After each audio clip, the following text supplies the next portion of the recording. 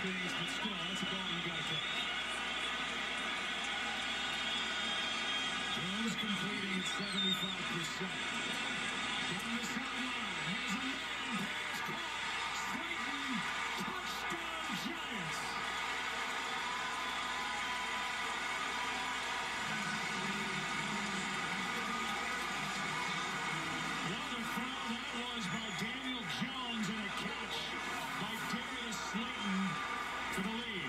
And Jones had his choice. He can either take Darius Slayton up the left sideline or he can take Kevin Golladay up the right sideline. He likes Slayton.